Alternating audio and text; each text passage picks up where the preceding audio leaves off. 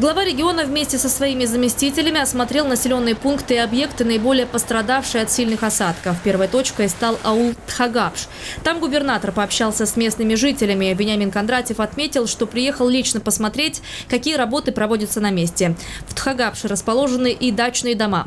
Глава края принял решение в первую очередь решать проблемы тех семей, которые живут здесь постоянно, а не сезонно. Напомню, из-за разгула стихии 4 июня движение к этому населенному пункту было отрезано сошедшим селем.